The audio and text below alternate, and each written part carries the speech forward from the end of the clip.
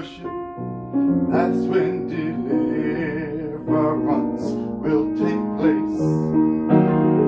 When the saints go up in praise, all of Satan's powers are erased. Every trap the enemy sets can't work